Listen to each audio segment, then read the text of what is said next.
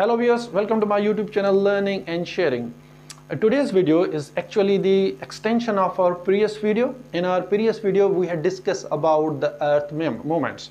So now earth moments are very important for us to understand the position of earth with respect to the sun because this particular position of earth had a certain geographical phenomena on the earth which we are being observing in our own life or which, which we have been observing in our daily life so i want to have a quick you know recap of our previous video so that we can be able to understand today's topic so in previous video we had discussed about the two moments of earth which is rotation and the revolution अब rotation क्या है what is rotation rotation actually is the spinning a movement of earth on its own axis when the earth rotate on an own axis we call that the rotation.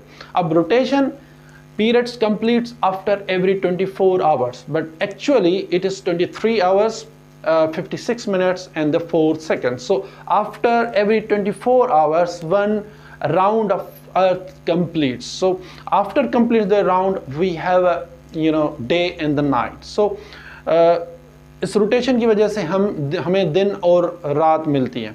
The another form of the movement of earth is the revolution now what is revolution revolution is the movement और spinning of the earth on its own on orbit on orbit round the sun, round the sun. So, when our earth is being spinning round the sun, we call that the did the revolution. So because of the revolution we have a season. This has been said but it doesn't happen actually in, in actual term. Revolution uh, की वजह से हमें सीजस नहीं मिलते but एक और चीज़ है which we call the tilt of the earth because our earth is tilted it is 23 three and half degree so हमारी ज़मीन is been tilted 23 three and half degree because of that we have a season तो हमारी ज़मीन जो है सूरज के चौ तरफ़ एक सर्किल में घूमती है, सूरज के चौ तरफ़। उसके बाद रिवोल्यूशन होता है, जिसको हम रिवोल्यूशन कहते हैं, जिसकी वजह से सीजन्स आते हैं। But actually seasons happening because of the tilt of the earth अगर ये ज़मीन पे टिल्ट नहीं होता 23 एंड हाफ़ ज़मीन नहीं होता तो you know every part of the earth has got the sun sun radiation in equal, equality. Means every part of earth have got the sun radiation in equal time, on equal यानी कि उससे क्या होता कि सूरज की रोशनी हर जगह पे equally पड़ती।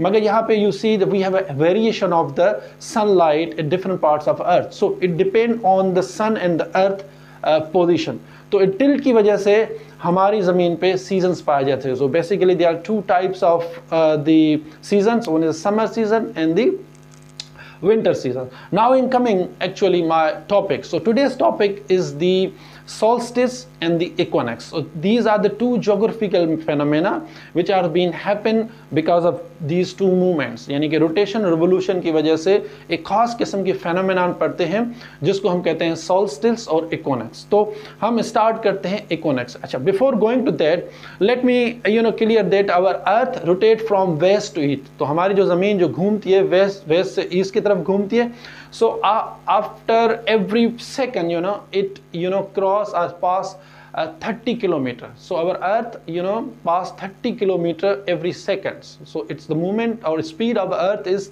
30 30 kilometer per second 30 kilometer per second so ये इसकी speed है now if you if you look at the latitudinal latitudinal you know structure of earth at the equator there's there are more speed But if you go equator, if you go towards the polar areas, either to the north or the south, the south, the speed of earth slightly decrease. यानी कि ज़मीन की जो speed है वो आहिस्ता आहिस्ता कम होती जाती है and it is almost none uh, at the at the polar area. So ये भी थोड़ा वेरी करती है कि जो हमारी Uh, स्पीड है ज़मीन की, वो भी लेट्यूडिनल डिफरेंट पे वेरी करती है। अब अगर आप इक्वेटर पे हैं तो ज़मीन ज़्यादा मूव करेगी। एक और पोजिशन भी है जो हमने प्रीवियस वीडियो में डिस्कस की थी कि when our earth is close is close to the to the sun we call that the aphelion so perihelion so when is so away from call the aphelion so ये भी दो phenomena होते हैं। now uh, we are coming to the uh, our own topic which is called the equinox and the solstice. ये दो geographical phenomena होते हैं जो जिनका ज़्यादा ताल्लुक जो है ना ज़मीन की रोटेशन और रिवोल्यूशन से होता है। And another phenomena is the how long is the distance between the sun and the earth अब आपको पता होगा कि हमारा जो सूरज है it is 150 million kilometre away from the from the earth तो सूरज और uh, ज़मीन के दरमियान 150 million kilometer ka mufasla paya jata it is also an impact on the some other phenomena. So what is equinox? Now equinox it's a latin words which is is combination of two uh, words. Equal equus equus means equal nox means light. Light nox means night. So equal night. It's a latin words which is meaning it's equal night. So what happens here? Uh, phenomenon happens twice a दो दफ़ा ये होता है.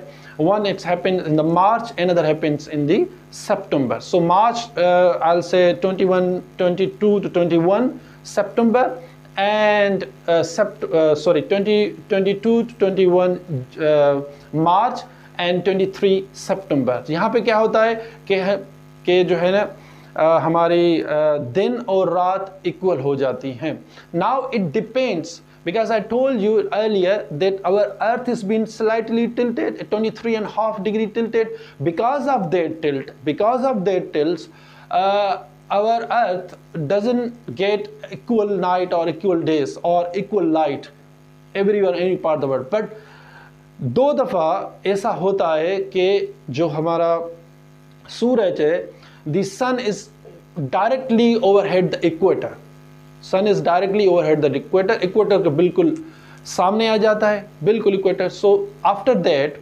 the sunlight is been equally falling on every part of the earth तो इसकी वजह से दुनिया में जितने भी इलाके हैं, वहाँ पे but it also been depending either in the you know southern hemisphere और द नदर्न हेमस्फेयर ये भी उस पर डिपेंड करता है। तो वहाँ पे क्या होता है कि दिन और रात इक्वल हो जाते हैं।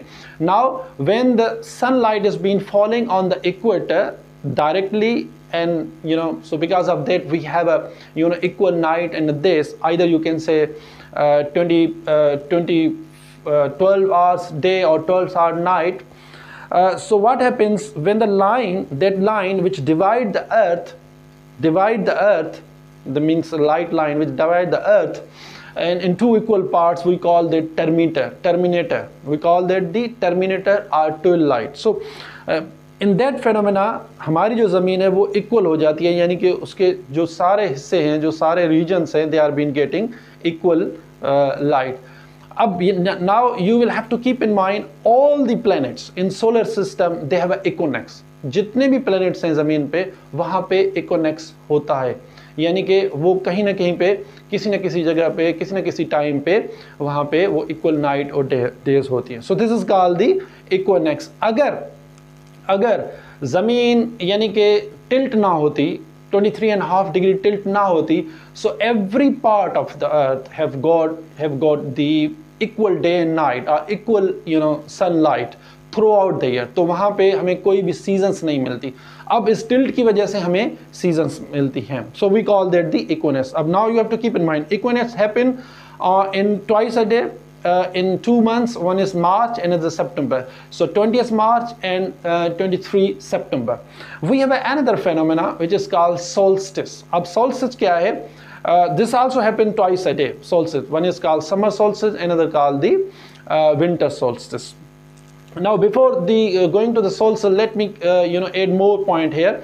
the 20 20 what is say 21st March 21st March or 20th March when we call the vernal, this is called the vernal, uh, uh, what is say, equinox, that is the beginning. Actually, this is the beginning of the summer. I'll say summer, summer season. So we have another, uh, which is called the autumn. Oh, sorry, which is called the autumn. It, it has been marking the start of the autumn season. And there in the March we have the start of the spring. Sorry it's the start of the spring season which happens in the 20th March. We have a another uh, you know phenomena we call the solstice. Ab solstice mein kya hota hai? Solstice when we have a longest day and the longest longest day and the shortest night and the shortest day and the longest night. So it happens twice a day. It happens in uh, 20th June 20th June and 22 December यहाँ पे क्या होता है? It it has some sort of relation with the position of the sun and the earth sun once once is so close to the earth so close is come so close to the earth and an the way it is been so away from the earth तो उसकी वजह से ये दो phenomena होते हैं। एक, एक में क्या होता है कि हमारी क्या कहते हैं, हमारी जो दिन है it become so shortest it happens twenty twenty second December which is call the you know winter winter solstice और एक होता है समर सोल्स्टिस जो जो होता है ट्वेंटी फ़र्स्ट जून को। तो these are the two phenomena which is been happening on the surface of earth it is only because of the position of the earth and also been the movements of earth so you have to keep in mind so I hope you understand this uh, you know a very inform informative video and the lecture. So if you like my videos kindly you know uh, uh, subscribe this channel and also share with your friends so you you will have a, a very quick notification of my new videos so till then